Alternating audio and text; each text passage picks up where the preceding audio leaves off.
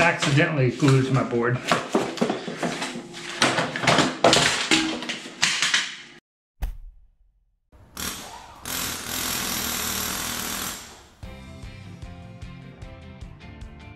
All right, so I'm here under the driver's side, and there's lots of space on this side.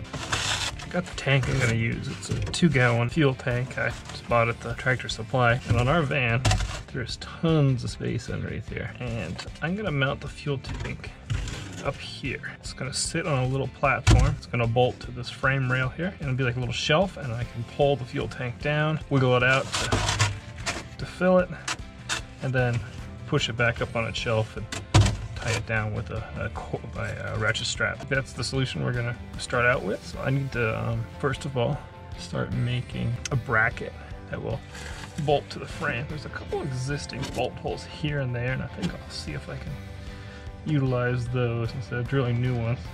Andy started out thinking that this would be a wooden bracket underneath or inside the back of the van before deciding neither of those options would work.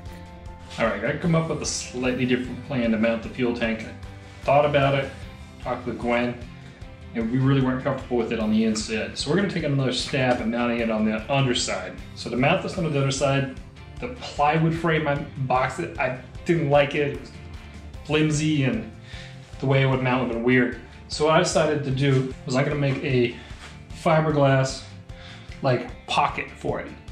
So I'm gonna cover the entire thing in saran wrap and then I'm gonna do probably four layers of fiberglass cloth along this side, the front, partially way down this side here, and of course the back side. And that'll make a nice little nest that perfectly snuggles the tank for it to drop into. I got some leftover epoxy resin um, I want to get used up. I got it clamped to this um, step ladder here, and I got an old towel, crappy old towel underneath of it. So then stuff won't drip down onto it. And first I start by wrapping it in saran wrap, then I'm gonna cut a couple of layers of fiberglass cloth to go over it. So this is just to give the um, fiberglass something to adhere to so it doesn't stick to the tank. It's a polypropylene tank so it probably wouldn't have stuck very well anyway, but I'd much rather not find out. that'll work nicely. And I ordered a bunch of this fiberglass material for boat projects. And I got a ton left over. Ordered like five yards for 50 bucks. So I have quite a bit. And this is 600 gram um, biaxial. So that means that the patterns go like this. And there's one more that goes at 45. So it's super strong and probably crazy overkill for what we're doing.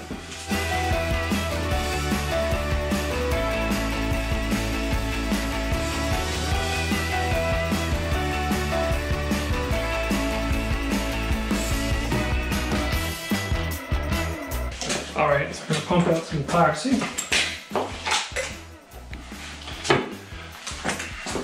Ten scoops. Get this mixed up.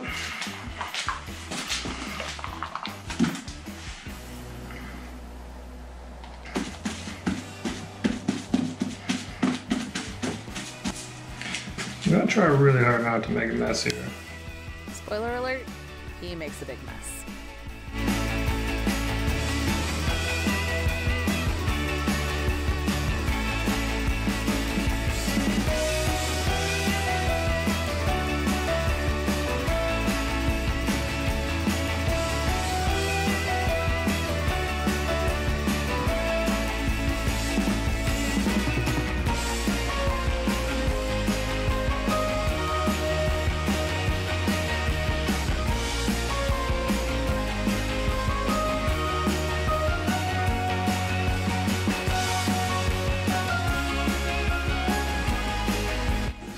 See if I can pull this thing from its mold.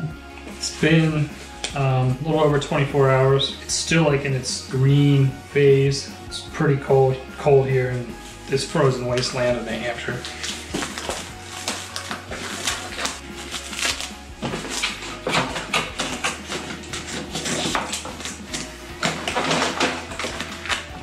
Man, accidentally glued it to my board.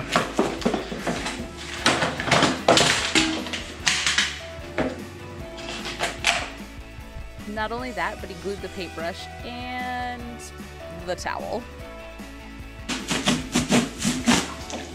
Needed part was a bucket for my fuel tank to sit in. And that's what I have. I'm gonna grab my cutters and cut off any excess I can right now. Well, it's still kind of in its green state and it's kind of workable.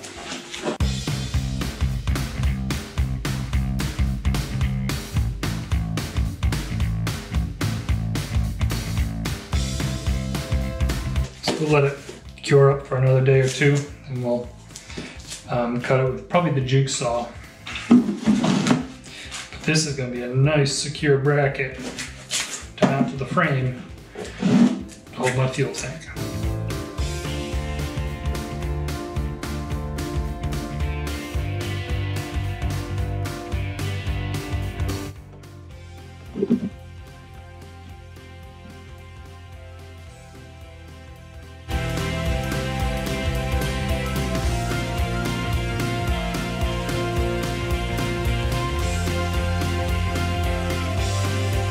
All right, so we're out here underneath, next to the van. This is the bracket we made, we made the other day. Um, I've done a couple things to it. Drilled some holes in the bottom here, let the water out, we get the water pooling in there. And I drilled a couple more holes to allow me to use hose clamps. These hose clamps are gonna go around the frame and then cinch this onto the side of the frame. I was originally planning on using um, rivnuts, but I figured I may want to move the location of this on the frame and rather having to drill a whole bunch of holes in some steel that looks pretty thick, um, I'm going to do this. So these will go around the frame and then we'll tighten them down. And then the fuel tank. inside like that. So you can see right here we got the fuel lines and here's the brake lines. And I'm making sure I run the clamps on the inside of those.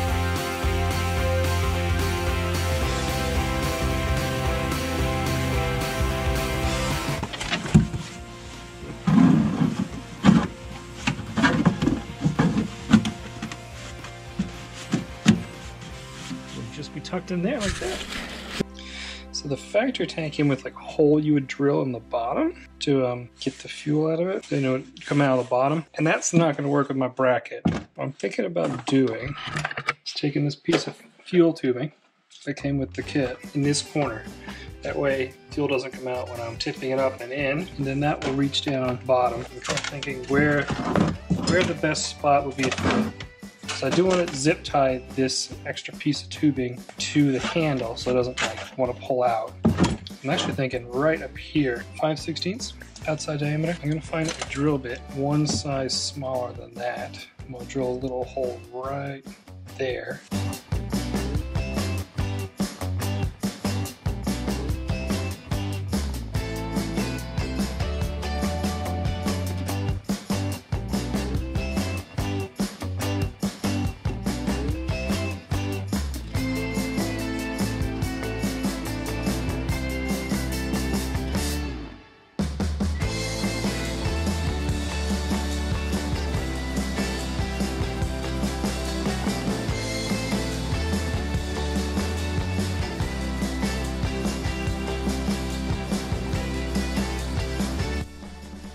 Left enough slack in the tubing to be able to take the tank down and fill it. The bungee cord will keep everything in place. With this placement, Andy can remove the tank without having to get underneath the van.